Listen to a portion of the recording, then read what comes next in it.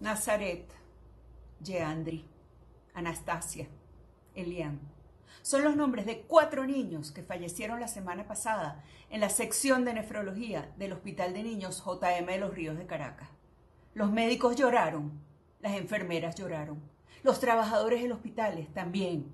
Lloraron de impotencia porque no hay insumos, no hay medicinas, no hay laboratorio y los pequeños siguen muriendo cuatro en una semana, más los que ya se han muerto y los que seguirán muriendo.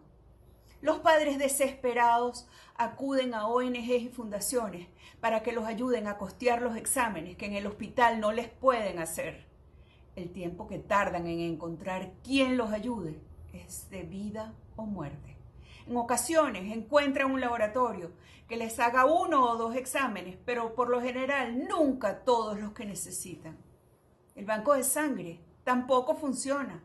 Muchos de estos niños necesitan donantes y cuando los consiguen ni siquiera hay cómo hacerles un tipiaje porque no hay reactivos.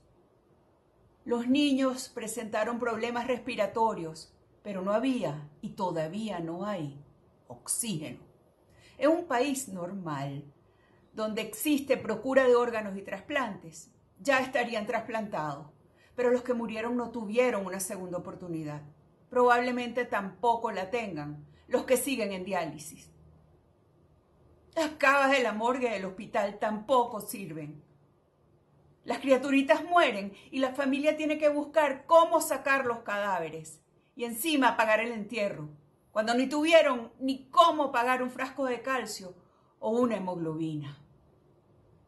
Me dicen que la directora y las subdirectoras del hospital han hablado con viceministros y ministros, pero el hospital de niños no parece ser su prioridad. Hay otros cinco niños hospitalizados en nefro que están mal y hay cuatro en el área de emergencia porque no hay personal suficiente para atenderlos a todos. Y hay otro en el área de COVID porque sospechan que tiene coronavirus. Todos necesitan exámenes, todos necesitan sangre, todos necesitan tratamientos importantísimos.